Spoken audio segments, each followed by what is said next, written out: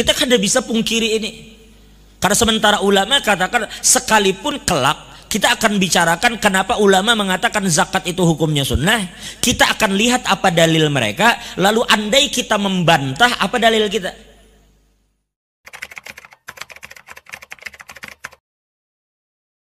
Bismillahirrahmanirrahim. Wa summiyat bidzalika li'annaha tajibu 'inda fitrin nasi min shaumi Ramadan wa tusamma al-fitrah bima'na al-khilqah wa tusamma zakatal badan li'annaha kama fil hadis zakatul fitri tuhratun lis-shaimi min ar-rafas wa tu'matun lil fuqara wal masakin.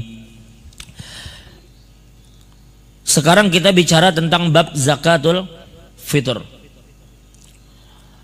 Dinamakan dengan zakatul fitr ini bisa disebut dengan zakat fitri bisa disebut dengan zakat fitrah dan juga bisa disebut dengan zakat badan. Sama aja disebut dengan zakatul fitri lianna hadhihi zakah tajibu indal iftar.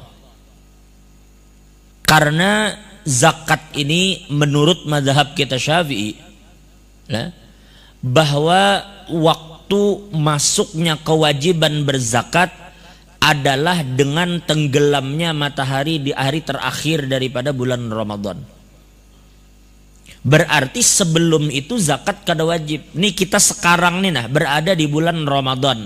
Kalau kita ditanya, bolehlah zakat dibayar duluan? Boleh.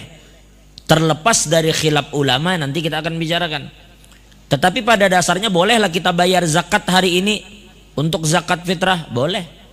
Tapi wajiblah kita bayar? Belum. Karena saat ini belum masuk waktu wajib.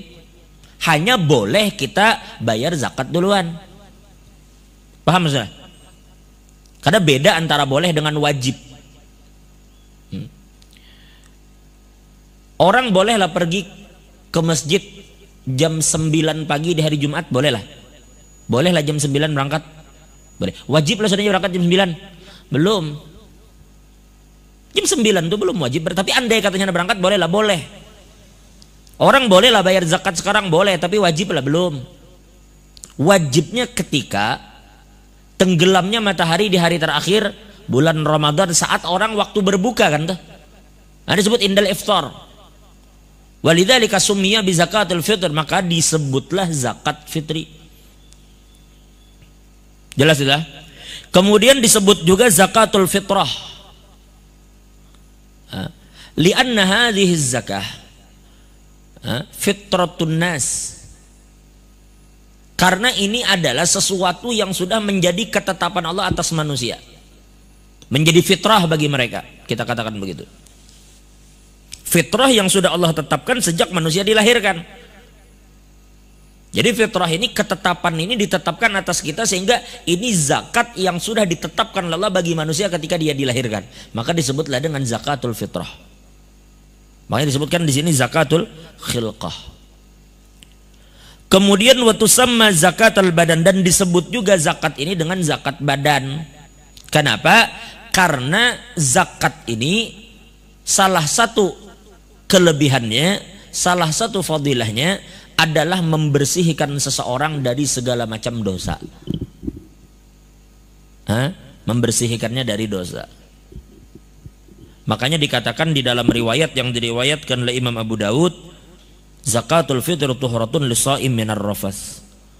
Bahwa zakat fitrah itu adalah pembersih bagi orang yang berpuasa dari segala macam hal-hal yang buruk.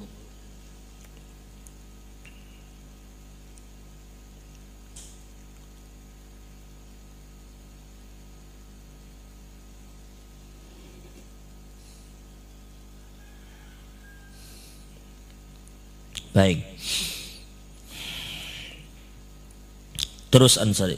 Karena kita katakan tadi zakatul fitr tuhratun lisaimi minar rafas wa tu'mah lil fuqara wal masakin. Zakat fitrah itu adalah pembersih ya kita. Atau sesuatu yang akan mensucikan orang-orang yang berpuasa dari segala macam hal-hal yang dilakukan selama berpuasa. Karena selama berpuasa terkadang kita melakukan hal-hal yang terkadang tidak dianjurkan untuk dilakukan atau kesalahan-kesalahan yang mungkin kita sengaja atau tidak sengaja maka zakat fitrah ini adalah salah satu cara untuk mensucikannya Nah kemudian dari hikmah eh, zakat ini pun dikatakan eh, tu'mah sebagai makanan, sebagai hidangan yang Allah berikan kepada fakir miskin. Nah ini nanti menjadi pembahasan kita apakah asnaf yang delapan itu hanya untuk zakat mal saja ataukah dia juga berlaku untuk zakat fitrah. Karena nanti kita akan lihat perbedaan pendapat yang sangat kuat di kalangan ulama di antara ulama dengan dalil yang sangat kuat mengatakan bahwa untuk zakat fitrah yang berhak menerima hanya fakir dan miskin. Karena hadis Nabi tadi yang mengatakan tu'mah lil fuqara wal masakin. Nah, dan itu banyak sekali difatwakan oleh para ulama. Jadi kita pribadi pun makanya aku anjurkan kalau untuk zakat fitrah serahkan aja langsung kepada orang fakir dan miskin. Tetapi untuk zakat mal ulama katakan jika memang ada lembaga yang di, dikelola oleh pemerintah yang resmi untuk mengelola itu dan mereka amanah maka serahkan ke sana zakat harta kita. Nah, tapi untuk zakat fitrah kada. Tapi ini kita akan bahas tentang siapa orang yang berhak menerima zakat fitrah karena pembahasannya sendiri wa hukmuha wajibatun bil ijma. Makanya kita lihat di sini dikatakan hukmuha wajibah bil ijma. Hukum hukum daripada zakat fitrah ini adalah wajib menurut ijma. Kenapa kada menurut nas? Saya lihat perhatikan Wajibun bil ijma. Wajib menurut ijma para ulama. Makanya ujar Imam Ibnul Mundir bahwa ulama berijma zakat fitrah itu adalah wajib. Terlepas dari apa istilah mereka. Pada dasarnya kita katakan ulama berbeda pendapat masalah hukum zakat fitrah. Ini sekedar untuk diketahui lah. Perhatikan baik-baik. Pendapat pertama adalah pendapat al-imam syafi'i pendapat imam malik bin anas. Jadi pendapat pertama pendapat imam malik. Yang kedua pendapat imam ha? syafi'i yang ketiga pendapat Imam Ahmad ibn Hambal. Jadi ujar Imam Malik, ujar Imam Syafi'i dan Imam Ahmad mengatakan bahwa zakat fitrah ini hukumnya fardu. Fardu menurut mereka. Berapa berapa berapa tadi? Ansari berapa madhab? Tiga. Madhab Malik, Malik Syafi'i dan Imam Ahmad katakan bahwa zakat hukumnya fardu. Tetapi Imam Abu Hanifah katakan hukumnya wajib. Menurut Abu Hanifah, zakat ini bukan sesuatu yang fardu, tetapi wajib. Nah sekarang kita bingung. Intinya kan sama-sama mesti dibayar nih. Tapi kenapa Imam Abu Hanifah tidak menggunakan kalimat fardu? Beliau katakan wajib. Padahal dalam bahasa kita fardu wajib sami maun padoe. Tapi tidak dalam mazhab Imam Abu Hanifah. Di dalam mazhab Imam Abu Hanifah yang disebut dengan fardu itu masa batu masa bata anid dalilil qat'i yaitu sesuatu yang ditetapkan yang hukumnya ditetapkan berdasarkan dengan adanya dalil qat'i. Jelas lah masa bata bidalilil qat'i yaitu sesuatu yang ditetapkan dengan adanya dalil qat'i. Itu fardu namanya. Dan kada boleh diingkari. Adapun yang disebut dengan wajib masabata bidalil dhanni. Yaitu sesuatu yang hukumnya ditetapkan berdasarkan dengan dalil dhanni. Nah di dalam mazhab Imam Abu Hanifah perbedaan ungkapan antara fardu dan wajib itu berpengaruh kepada orang yang mengingkarinya di dalam mazhab Imam Abu Hanifah, andai kata orang tidak percaya bahwa zakat fitrah itu adalah sesuatu yang wajib untuk dibayar, makanya kada kafir di dalam mazhab Imam Abu Hanifah. Kenapa? Karena di dalam mazhab Imam Abu Hanifah, suatu hukum yang lahir dengan sebab dalil qat'i itu tidak boleh dibantah. Berarti itu fardu kan? Setiap sesuatu yang hukum dari sesuatu itu lahir karena sebab adanya dalil qat'i maka mengingkari hukum ini adalah kafir. Jelas itu kira-kira lah? Karena dalil qat'i. Tetapi apabila seseorang mengingkari satu hukum yang lahir karena sebab dalil dhanni maka orang itu tidak dikatakan kafir. Jelas tuan Jadi perbedaan ini kamu ketahui ada di dalam mazhab Imam Abu Hanifah. Mereka nanti kita akan lihat kenapa Imam Abu Hanifah mengatakan bahwa dalil ini hukum ini berdiri atas dalil doni. Kita lihat kan. Jadi pendapat pertama dari tiga madhab Imam Malik, Imam Syafi'i, Imam Ahmad katakan hukumnya fardu. Sedangkan Imam Hanafi katakan hukumnya wa, wajib karena Imam Hanafi membedakan antara fardu dan wajib. Fardu menurut Imam Abu Hanifah adalah satu hukum yang ditetapkan dengan dasar dalil qat'i. Sedangkan wajib adalah sesuatu yang berdiri atau suatu hukum yang ditetapkan dengan adanya dalil dhanni. Nah, lalu kemudian implikasinya adalah apabila menurut mereka sesuatu itu berdasar dalil qat'i, berarti fardu lalu diingkari, maka orang yang mengingkarinya kafir. Tetapi suatu hukum yang berdiri dengan dalil dhanni lalu diingkari, maka yang mengingkari hukumnya kada kafir. Jelas sampai sini? Berarti sudah ada dua pan pendapat. Tapi intinya kedua-duanya kan katakan ya tetap dikeluarkan intinya kita. Lalu sekarang kita masuk ke dalam pendapat yang yang ketiga. Eh, pendapat yang ketiga adalah ulama yang mengatakan bahwa zakat fitrah itu hukumnya sunnah muakkad. Sunnah muakkad. Kita kan bisa pungkiri ini. Karena sementara ulama katakan sekalipun kelak kita akan bicarakan kenapa ulama mengatakan zakat itu hukumnya sunnah. Kita akan lihat apa dalil mereka. Lalu andai kita membantah apa dalil kita. Paham ya? Karena kita akan berusaha mentarji dari pendapat yang mengatakan wajib dan fardu berhadapan dengan ulama yang mengatakan ini hukumnya sunnah. Lalu kita lihat dalil mereka. Lalu kita lihat, kita timbang mana yang lebih kuat dari sisi dalil. Jelas itu Ansarilah. Nah, kalau ikam ditanya, apa dalil yang mengatakan bahwasanya uh, zakat itu wajib, bukan sunnah? Maka kita akan jawab, kita menggunakan dalil yang sahih yang diriwayatkan oleh Imam Bukhari Muslim, Nabi Shallallahu Alaihi Wasallam telah mewajibkan zakat daripada riwayat Sayyidina Abdullah bin Umar. Ujar Abdullah bin Umar, farrada Rasulullah sallallahu alaihi wasallam zakat al-fitri sa'an min sya'ir alal abdi wal hurri wal dzakar wal dzakar wal untha was saghir wal kabir minal muslimin. Wa amara biha an tuadda qabla khurujin nasi ila shalah ujar Abdullah bin Umar Nabi Muhammad telah mewajibkan telah mewajibkan untuk mengeluarkan zakat fitrah satu sok daripada gandum. Satu sok itu nanti kita bicarakan. Satu sok itu empat mut. Terlepas dari perbedaan pendapat ulama sekian kilo. Anggap kita mengambil dalil yang tiga kilo. Anggap kita mengikuti pendapat yang tiga kilo. Misalnya. Atau yang dua setengah. Atau yang 2,75. Intinya ujar Abdullah bin Umar. Nabi mewajibkan zakat fitrah. Berupa satu sok daripada gandum. Atas orang yang merdeka, yang hamba, kemudian laki-laki, bini-bini, kemudian yang kecil atau yang tua dari kalangan kaum muslimin. Dan Nabi menyuruh untuk zakat itu ditunaikan sebelum manusia berangkat sembahyang id. Nah, kalimat farrodo, apa arti farrodo? Hah? Mewajibkan kan? Aujaba amara Rasulullah mewajibkan zakat. Berarti ini dalil yang menunjukkan bahwa zakat fitrah adalah fardu. Wajib. Kada boleh kada dibayar. Karena Abdullah bin Umar menggunakan redaksi farrada. Rasulullah memfardukan. Jelas kira-kira lah. Baik, itu dalil kita yang mengatakan bahwasanya uh, zakat itu adalah fardu. Tetapi kita katakan tadi ada sementara ulama yang mengatakan bahwa zakat fitrah itu hukumnya sunnah saja.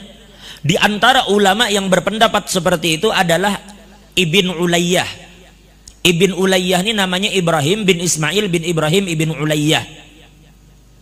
Lah, kita katakan bahwa Ibn Ulayyah itu selama ini dikenal oleh para ulama ada dua. Yang pertama adalah Ismail bin Ibrahim Ibn Ulayyah.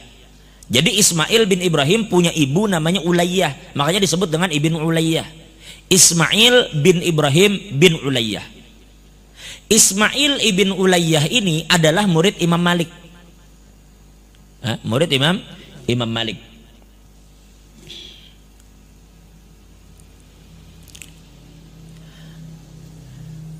Ismail ibn Ibrahim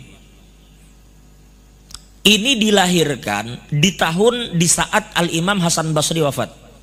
Imam Hasan Basri meninggal, lahir Ismail bin Ibrahim ibn Ulayyah. Beliau ini adalah murid daripada Ayub ibn Kaisan, Ismail ibn Hurmus, Malik bin Anas, dan Sufyan al-Thawri dan para ulama hadis di zaman itu. Intinya Ismail ibn Ulayyah ini yang Ismail bin Ibrahim ini adalah orang yang dianggap fiqh oleh para ulama hadis. Ujar Yahya bin Ma'in, Ismail ibn Ulayyah ini adalah fiqh, taqi, wara. Orangnya fiqh, bertakwa dan wara. Ujar Yunus bin Bukair, ujar ujar Yunus, aku mendengar Syu'bah berkata bahwasanya Ismail bin Ibrahim ibn Ulayyah adalah pemimpin para ahli hadis. Kenapa? Karena nanti kita akan lihat di antara murid daripada Ismail bin Ibrahim ibn Ulayyah ini adalah Imam Ahmad ibn Hambal. Di antaranya adalah Yahya bin Ma'in. Di antaranya adalah Ali Al-Madini. Mereka orang-orang besar dalam ilmu hadis. Nah, para pembesar-pembesar dalam ilmu jarah wa ta'dil pun bahkan adalah murid daripada Ismail bin Ibrahim bin Ulayyah. Oleh karena itu, para ulama mengatakan bahwasanya riwayat yang bersumber dari Ismail bin Ibrahim ini diterima. Jadi jelaslah bin Ulayyah itu yang pertama adalah Ismail bin Ibrahim bin Ulayyah. Tetapi yang kedua, Ibrahim Ismail bin Ibrahim punya anak. Sekali lagi ku ulang, Ansari. Ikam jangan salah paham lah.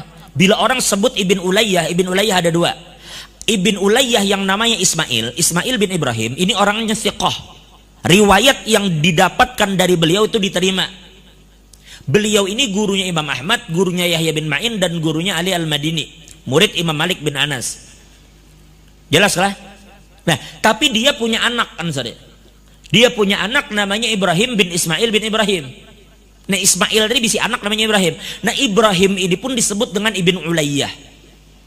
Dan Ibrahim ini yang banyak mengeluarkan pendapat-pendapat di dalam fikih. Yang sedang kita bahas hukum ini adalah pendapat Ibrahim bin Ismail ini, bukan pendapat abahnya. Kan abahnya pun disebut Ibn Ulayyah.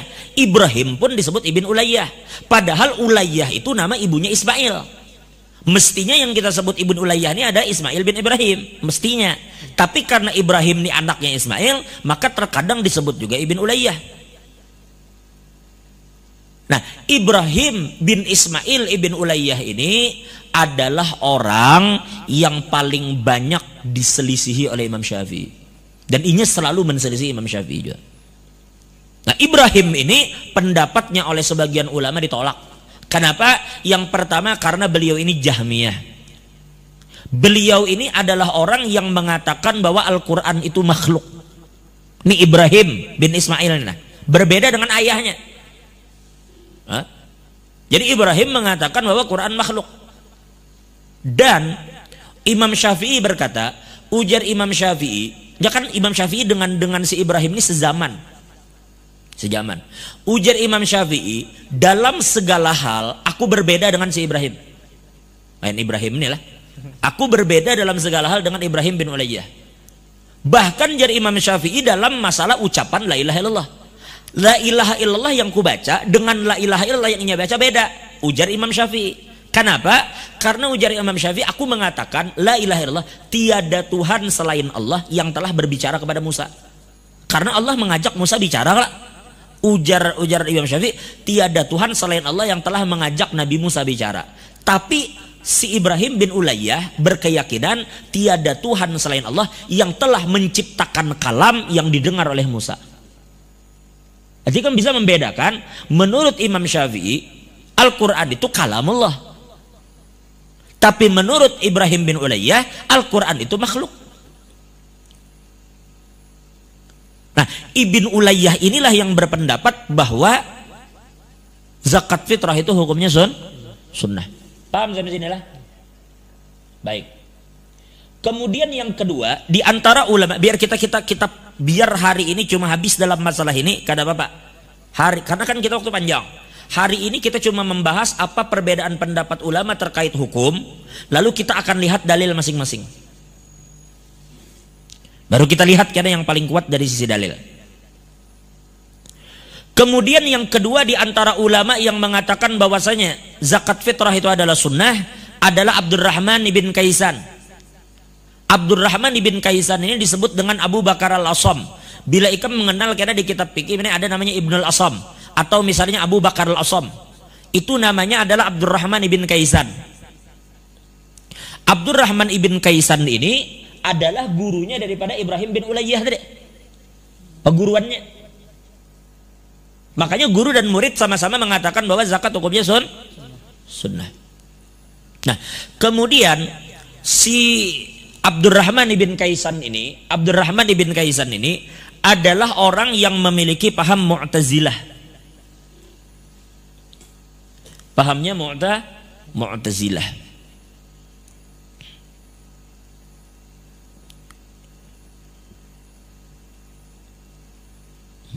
Makanya ada tafsir namanya tafsir Abu Bakar Al-Asab.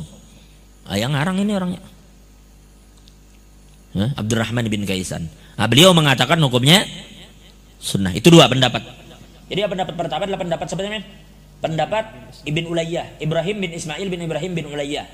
Pendapat kedua adalah pendapat Abdurrahman bin Kaisan atau Abu Bakar Al-Asam. Pendapat ketiga adalah pendapat Ashab. Ashab ini adalah murid Imam Malik. Nah, kalau Ashab ini maka alim dasar men. Ashab ini orangnya alim. Ashab ini belajar dengan Imam Malik bin Anas dan Al-Laits bin Sa'ad. Imam Syafi'i pernah berkata, ujar Imam Syafi'i, Aku memasuki Mesir jadi Imam Syafi'i dan tidak ada di Mesir orang yang lebih alim daripada Ashab. Ujar Imam Syafi'i. Tidak ada di Mesir orang yang lebih alim daripada Ashab. Ashab ini mengambil apa kedudukan untuk memberi fatwa di Mesir setelah zamannya Al-Utaqi. Pembesar salah satu sahabat dan murid Imam Malik. Setelah Al-Utaqi, lalu si Ashab ini yang mengambil alih untuk menyebarkan dan mengeluarkan fatwa berdasarkan pendapat Imam Malik. Karena memang Ashab ini murid Imam Malik. Nah Ashab ini mengatakan bahwa zakat fitrah itu hukumnya sunnah. Apa tadi jadi Imam Syafi'i? Ujar Imam Syafi'i, aku tidak temukan di Mesir orang yang lebih pandai, lebih mengerti ilmu fikih dibanding Ashab. Jelas, jelas. Kemudian yang keempat, di antara yang mengatakan sunnah, adalah Muhammad bin Abdullah bin Hasan atau disebut dengan Ibnul Labban. Nah, Ibnul Labban ini adalah ulama di dalam madhab syafi'i bilang. Namanya Muhammad bin Abdullah bin Hasan dikenal dengan Ibnu Ibnu Labban. Salah seorang ulama besar dalam madhab syafi'i. Ujar al-imam Abu Ishaq Asyirazi ujar Abu Ishaq Asyirazi beliau katakan bahwa Ibnu Labban ini adalah imam di dalam ilmu fikih dan faraid. Jadi Ibnu Labban ini memang menguasai ilmu fikih dan faraid. Nah ini adalah empat orang yang mengatakan bahwa hukum zakat fitrah adalah sun, sunnah tidak wajib. Nah sekarang kita lihat dalil apa dalil mereka mengatakan bahwasanya zakat fitrah itu sun sunnah? Dalil pertama adalah hadis yang sahih. Hadis yang sahih yang diriwayatkan oleh Qais bin Sa'ad bin Ubadah. Beliau katakan kunna nu'addi Asyura wa nu'addi zakat al-fitr falamma nazala Ramadan wa nazalat zakah lam nu'mar bihi wa lam nunha anhu wa kunna naf'aluh rawahu nasai di dalam hadis yang sahih yang diriwayatkan Imam Nasai, ujar Qais ibn Sa'ad, kami di zaman dulu itu melaksanakan puasa Asyura dan membayar zakat fitrah. Manakala turun ayat yang menyuruh puasa Ramadan dan turun ayat yang menyuruh berzakat, maksudnya zakat harta min. Maksudnya zakat harta. Nah maka saat itu kami tidak lagi disuruh untuk melaksanakan puasa Asyura dan kada juga disuruh untuk bayar zakat fitrah. Dan kami kada juga dilarang tetapi kami tetap melakukan. Paham ya? Satu. Oke ini kan kita masih bicara ada ada Asyura. Sekarang kita lihat. Kalau di dalam Sunan An-Nasaimin ente lihat di dalam bab zakat. Karena ada pembicaraan masalah-masalah zakat fitrah setelah turunnya bab zakat turunnya ayat zakat. Sekarang di hadis selanjutnya karena di situ ada dua hadis saja.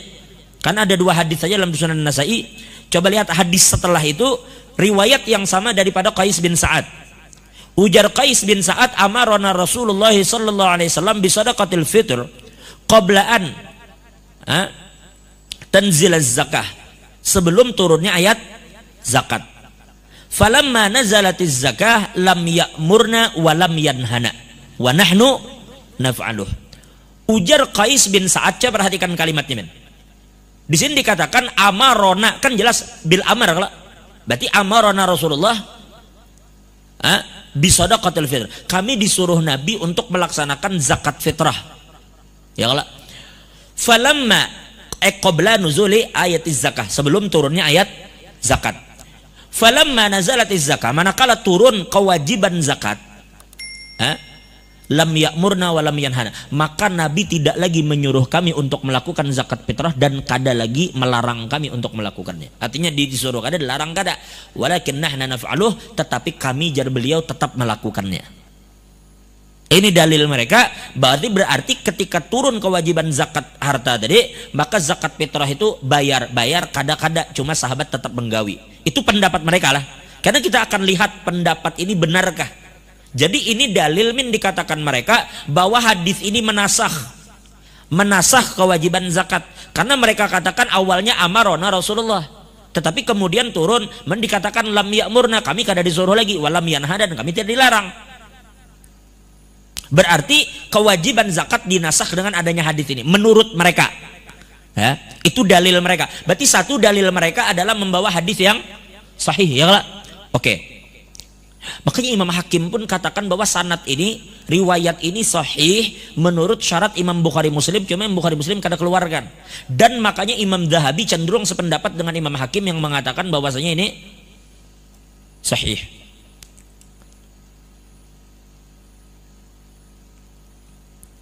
Dua. Yang kedua, dalil mereka mengatakan sunnah min ketika kita mengatakan riwayat Abdullah bin Umar tadi ya karena kita katakan farrada Rasulullah sallallahu alaihi wasallam zakat al-fitr. Rasulullah menyuruh kita memardukan kita mewajibkan kita untuk membayar zakat. Dari so'an min syair. Satu so' daripada syair. Berarti farrada apa maknanya? Farrada Rasulullah ay amara Rasul ay aujaba Rasulullah. Kita kalau Rasulullah mewajibkan kita bayar zakat berupa satu so' daripada gandum. Tetapi mereka mengatakan bahwa kalimat farrodo itu bukan dimaknakan aujaba.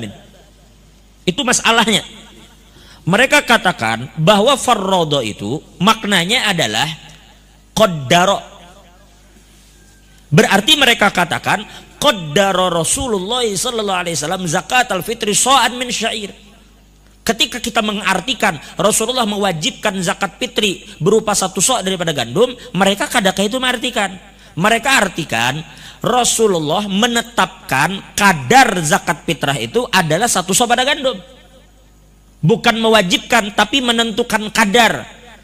Itu pemahaman mereka terhadap makna farrodo. Ketika kita katakan farrodo bima'ana aujaba, mereka katakan farrodo bima'ana qaddaro Jelas ansarilah. Nah, dari sini sudah kada, kada bakal ketemu kita karena kita berbeda dalam makna farrodo. Nah kira kita kita terus bicarakan dalil mereka yang mengatakan sunnah. Nah akhir kita akan bantah kan. Kita ketahui dalil, dalil mereka, lalu ketika kita akan bantah kita bantah dengan dalil. Jelas lah kira-kira. Baik, itu itu yang kedua. Jadi dalil pertama mereka berdalilkan dengan hadis Imam An-Nasai tadi yang bersumber daripada Qais bin Sa'ad. Dan mereka katakan ini hadis menunjukkan bahwa kewajiban zakat fitrah telah dinasakh. Pendapat kedua mereka katakan bahwa kalimat farrodo andai pun sahih maka farrodo dimaknakan kodaro bukan aujaba. Dua. Yang ketiga yang ketiga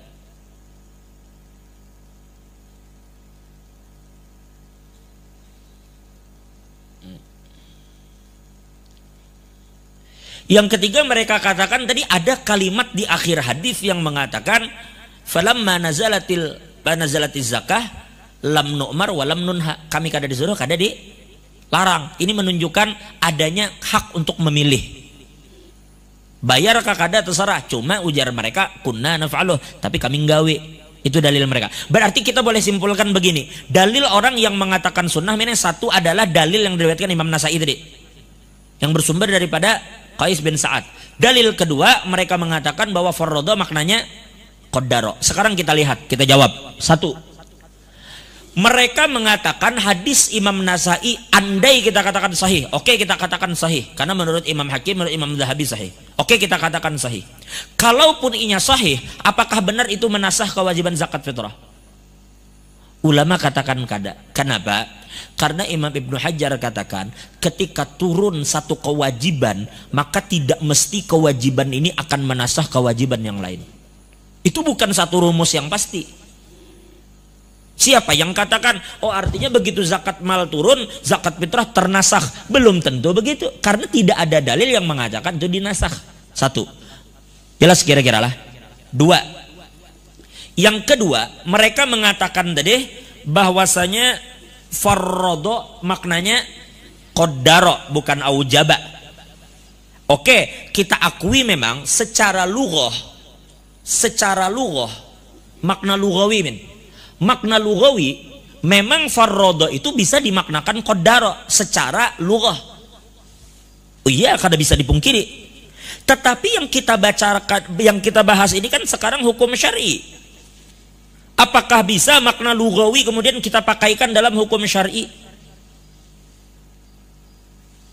Kada bisa kita katakan maknanya mesti kita kembalikan kepada aujaba karena ulama katakan ada sebuah rumus di kalangan ulama ada sebuah kaidah hamlul labzi alal haqiqati syar'iyyah fi kalami syar'i muta'ayyin ma lam yakum sarifun anhu ulama katakan menerapkan suatu lafat yang bersumber dari syarak berarti dari Allah dan Rasul Hah? menetapkan suatu lafat yang bersumber dari Allah atau Rasul harus tetap kita kembalikan kepada makna hakiki. Makanya hamlul labzi alal haqiqati syar'iyah. Kita harus terapkan berdasarkan apa makna hakikat di dalam syarak. Selama tidak ada faktor yang memalingkan dari makna itu. Makanya kita kita kita kalimat farrodo itu kita tetapkan dengan hakikat syara. Hakikat syara makna farad itu mesti aujaba. Karena apabila kita membicarakan masalah sekarang kalamu syar'i, kalamu syar'i itu maksudnya kalamullah, kalamu rasulih, perkataan Allah, perkataan Rasul. Mesti di situ ujar ulama hamlul ala hamlul labzi ala alal haqiqati syar'iyah. Mesti lafat itu dibawa kepada makna syara, jangan ke makna lughah. Mana bisa? Kecuali ada sarif, ada sesuatu yang bisa memalingkan makna. Tapi ternyata di sini kan ada. Maka kita tetapkan makna makna farrodo adalah aujaba bukan qaddara. Dalil kedua, riwayat yang sahih yang diriwayatkan Imam Bukhari Muslim, ternyata ada riwayat yang membawa bukan mana dengan kalimat farrodo Rasulullah zakat al-fitri so'an minasyair bukan begitu, tetapi ada kalimat amaro Rasulullah Nah, berarti ketika ada riwayat dari jalan yang lain yang mengatakan amaro, amaro ini menunjukkan amaro kada bisa lagi dimaknakan dengan kodara. Amaro ini berarti perintah. Ujar ulama, bahkan ulama sebagian ulama katakan wal amru fil amr lujub.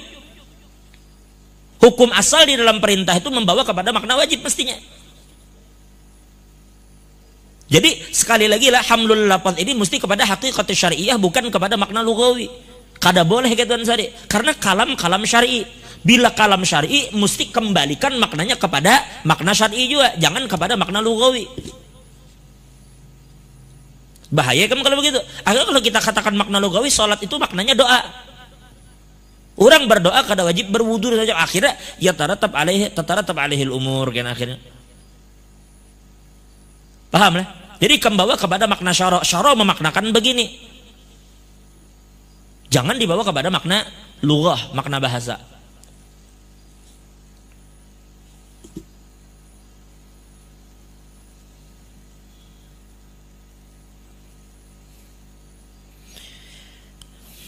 Jelas tuh kira-kira Nah kemudian dalil-dalil mereka selanjutnya yang mengatakan dinasah kita lihat min.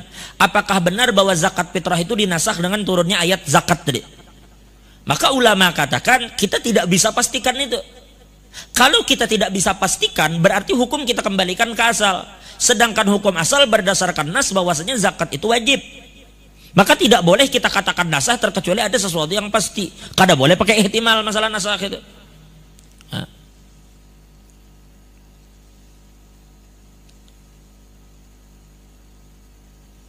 Makanya ujar ulama al aslu fi awamirillahi wa rasulihi an takuna muhkamah bakiyah. Wala yathbutun nasakh bimujarradil ihtimal. Aila yusbatun nasakh bimujarradil ihtimal.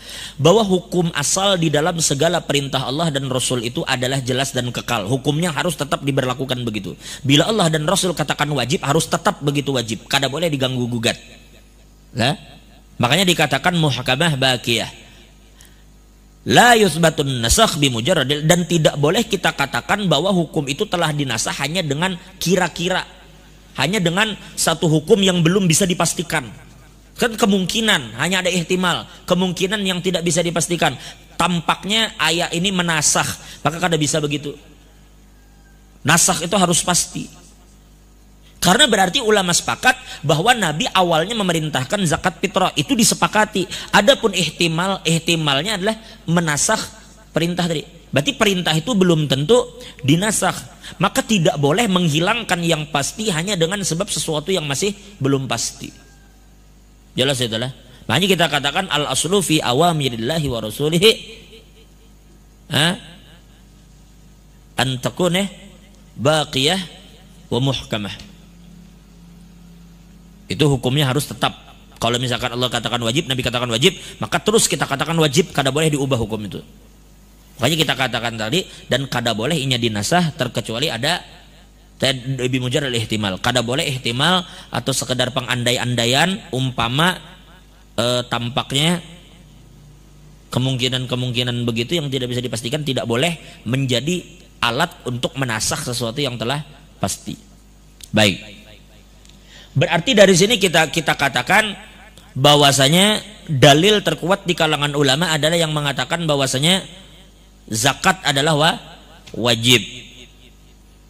Dari segi kekuatan dan makanya kita katakan tadi ada riwayat mengatakan farrodo, ada kalimat mengatakan amaro. Nah, dari sini tapi tapi dalil dari Qais bin Sa'ad tadi sahih bukan Ansari? Nah, karena inya sahih Ansari, ihtimal itu kan tetap ada ihtimal itu tetap ada. Itulah kenapa Abu Hanifah menurunkan derajat dari fardu menjadi wajib. Kita kada bisa pungkiri riwayat yang bersumber dari Qais ibn Sa'ad ini yang menurunkan derajat pendapat di dalam mazhab Hanafi dari fardu menjadi wajib. Itulah yang menyebabkan dalil tidak lagi qat'i menjadi zonni dengan sebab adanya ini. Jadi hadis ini tidak memberi pengaruh di dalam madhab Hanafi untuk menjadikannya sunnah. Tetap wajib tapi menurunkan derajat dari fardu kepada wajib gitu. Kalau harus dikerjakan tetap dikerjakan. Cuma tetap dikerjakan yang tadinya bersumber kepada dalil qot'i sekarang turun menjadi dalil zonni apa yang menyebabkan turun? Ya adanya hadis ini seandainya hadis ini kan ada maka mereka katakan qot'i tapi kan hadis ini ada sehingga menjadilah zonni Oke, sekarang dari segi dalil kita katakan tadi yang arjah pendapat mayoritas ulama sawadul azam kita katakan mungkin 98 persen.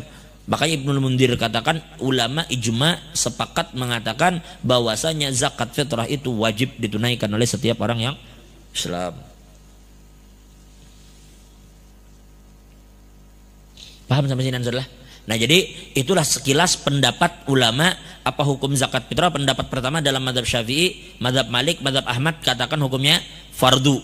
Dalam madhab hanafi katakan hukumnya wa, wajib. Dalam madhab hanafi beda antara fardu dan wajib. Dalam madhab hanafi fardu itu adalah sesuatu yang ditetapkan hukumnya berdasarkan dalil qat'i. Sedangkan wajib adalah sesuatu yang hukumnya didasarkan dengan dalil zanni. Apabila orang mengingkari yang fardu menurut mazhab Hanafi yang berdasar dalil qat'i maka hukumnya kafir. Tapi kalau dia mengingkari sesuatu yang berdasarkan dengan dalil dhanni yaitu wajib maka dia tidak ka kafir. Pendapat kedua tuh. Pendapat ketiga mengatakan bahwa per, uh, zakat fitrah adalah sunnah muakkad. Itu pendapat daripada Ibrahim bin Ismail bin Ulayyah. Kemudian pendapat daripada Abdurrahman bin Kaisan atau disebut dengan Abu Bakar al-Asam. Kemudian yang ketiga itu pendapat daripada Ashab salah seorang ulama dalam madhab Malik. Kemudian itu pendapat ya daripada Ibnul Labban, Muhammad bin Abdullah bin Hasan Ibnul Labban, salah satu ulama besar dalam madhab Syafi'i. Nah mereka berempat katakan hukumnya sun, sunnah. Dalil sudah kita bahas, dalil terkuat adalah mengatakan bahwa zakat fitrah wajib dikeluarkan dan tidak boleh tidak dikeluarkan. Wallahu alam bisawab. Insyaallah kita malam lanjutkan tentang waktu-waktu yang dibagi ulama terkait pembayaran zakat fitrah. Karena ada yang bertanya apa hukumnya mengeluarkan zakat fitrah dari awal Ramadan. Bahkan ada yang bertanya apa hukumnya mengeluarkan zakat fitrah sebelum Ramadan. Adalah yang menyuruh hmm? Kemarin walau alam bujur kadanya cuma aku udah dengaran. Ada jar di antara oknum-oknum tertentu di anu nih yang mengatakan bahwa ke, untuk saat ini jar boleh aja mengeluarkan zakat fitrah berdahulu sebelum Ramadan. Kita akan lihat Apakah yang dikatakan itu memiliki dalil dan siapa yang berpendapat begitu apa dalilnya? Karena ulama sekali lagi di dalam puru syariah, di dalam puru-puru agama, puru-puru fikih, itu pasti ulama beda pendapat loh. Jangan dikam kira selalu ulama itu sepakat.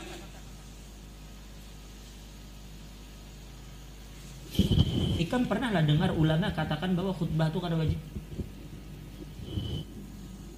Jumat sahnya sembahyang tanpa khutbah. Pernah dengar pendapat itu? Imam Hasan Basri katakan begitu. Sering untuk bahwa terjadi khilaf kuat di kalangan ulama. Tapi ya memang jelas kita dalam segala sesuatu mengambil yang ihtiyat kan? Nah kait itu dengan waktu dan tapi kita bicarakan kan insya Allah di malam hari lah. Yang sekedar kamu tahu bahwa ulama sepakat kita katakan kita kita berbicara tentang ulama yang wajib kita tinggalkan ulama yang katakan sunnah lah. Artinya pendapat yang sunnah kita tinggalkan karena kita tidak pakai dan kita cenderung dan jelas kita memilih pendapat yang mengatakan zakat wa, wajib. Tetapi kapan zakat itu boleh dibayar? Boleh, kita kan bicara tentang bolehnya dibayar. Itu ulama pun beda pendapat loh. Jangan ikam pikir ulama sepakat. Imam Syafi'i katakan kapan waktunya boleh bayar? Kapan kita boleh bayar? Sejak awal Ramadan tetapi di dalam madhab Malik dan madhab Imam Ahmad kada boleh. Dalam madhab Imam Ahmad, orang boleh membayar zakat itu maksimal adalah dua hari sebelum hari raya. Kada boleh kurang daripada itu. Kada boleh seminggu, kada boleh dua minggu sebelum, mesti dua hari sebelum hari raya. Dan dalilnya kuat, jangan ikam kira kada kuat. Imam Malik cenderung kepada dan ada pendapat mengatakan bahwa dalam riwayat Imam Malik, Imam Malik mengatakan tiga hari. Oke, antara dua dan tiga hari. Tapi kada boleh kurang dari itu. Kada boleh seminggu sebelum hari raya, kada boleh dua minggu itu pendapat supaya ente tahu bahwa perbedaan pendapat ada. Jadi kalau ente katakan mengatakan bahwa oh boleh menurut Syafi'i, menurut Syafi'i boleh, menurut Imam Ahmad, Imam Malik kada. Berarti pendapat yang ente pilih ditolak oleh sebagian mazhab lain. Jadi jangan heran apabila ente menolak satu madhab orang, ternyata madhab orang itu dipakai sebagaimana kita memakai madhab kita dan mungkin pendapat kita ditolak orang. Nah orang yang membolehkan mengeluarkan zakat sebelum Ramadan itu Imam Abu Hanifah. Imam Abu Hanifah katakan zakat fitrah itu boleh dibayar bahkan setahun sebelum masuk Ramadan. Bayangkan kan. Ikam di Rajab, di Rabiul Awal, ikam sudah boleh bayar zakat fitrah dalam madhab Imam Abu Hanifah. Nah sekarang ente katakan sebagai kita dalam madhab syafi'i kita kadang itu memang pendapat madhab mereka kada kawai kama ya? Paham ya Nasari? Hah? Paham lah? Baik. Ini pendapat Imam Abu Hanifah ini. Lalu kita bantah lah, kita katakan, oh kada bisa ajar kita kada sah sebelum Ramadan, mestinya dari awal Ramadan. Kita mengatakannya kada sah, padahal ampun kita pun dikatakan kada sah oleh buhan Imam Malik dan Imam Ahmad. Ketika ente katakannya lah mengeluarkan zakat berdahulu sebelum Ramadan kada sah. Ujar kita kepada mereka. Tapi di sana ada orang-orang dalam madzhab Imam Ahmad, Imam Malik mengatakan, "Wah, ampun kita pun kada sah jika kita keluarkan di awal Ramadan." Hmm?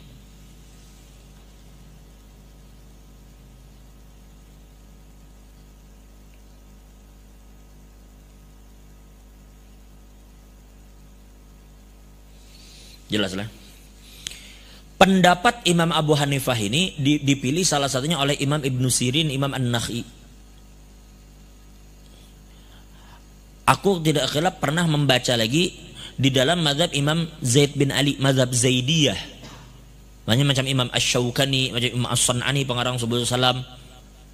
Syarah Bulughul Maram itu kan ada Subul Salam, karangan Imam Al-Amir As-San'ani. Nah, kemudian ada salah satu muhakkik madhab Zaidiyah, Imam Ash-Shawkani yang mengarang Nailul Autar. Dalam madhab Zaidiyah bahkan dikatakan zakat itu boleh dibayar duluan dua tahun sebelumnya. Coba kamu. Jadi itu loh perbedaan pendapat. Tapi hari ini aku sekedar menyampaikan perbedaan secara umum. Adapun rincian dalil kita akan bicarakan sampai masuk babnya. Wallahu a'lam cukup lah.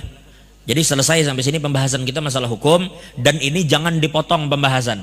Kalau tiba-tiba ada yang motong, aku pas berucap bahwa zakat fitrah hukumnya sunnah, tiba-tiba di situ potong lalu ribu teh alam semesta. Jangan dipotong. Bila hendak selesaikan sampai akhir bab ini. Cukup sampai di sini wallahu alam. Nah sampai sini potong.